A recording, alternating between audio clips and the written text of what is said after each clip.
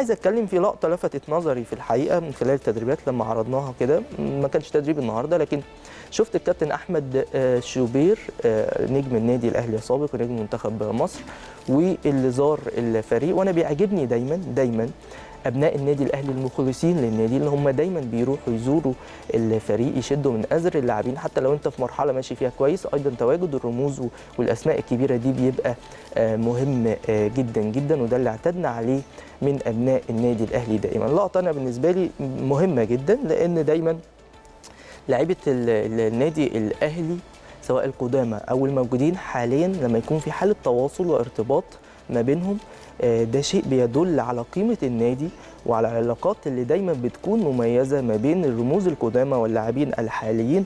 فده شيء بشأنه بيدي دوافع آه، مميزة جدا بالنسبة للفريق خلال المرح- المرحلة الهامة جدا المقبلة.